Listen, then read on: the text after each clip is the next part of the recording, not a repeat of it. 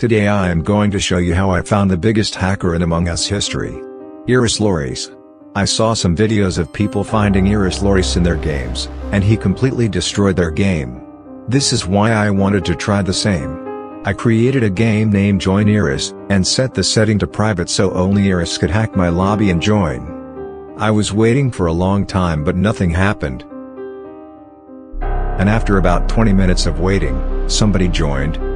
But it wasn't Eris, it was a player by the name Sire Cyril, he positioned himself in the middle of the map. And typed this. Hello Spoty. I saw the video you made. And I'm very angry. I was really shocked that he knew me. I don't even know where did he come from. He suddenly teleported.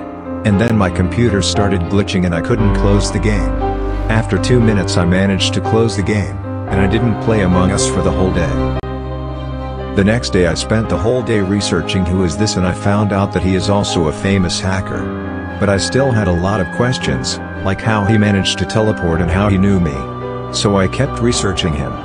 But then something terrifying happened. I received this email. It was from Sire Cyril and I opened it. It contained this link, so I clicked on it. It was an Among Us download, at this point I didn't know what to expect from this, I was really scared, but I downloaded it anyway.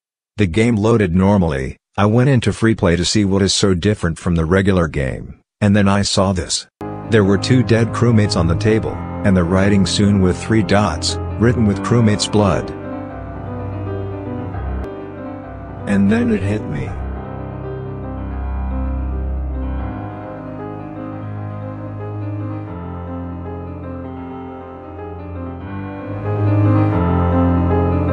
Floris Floris is back.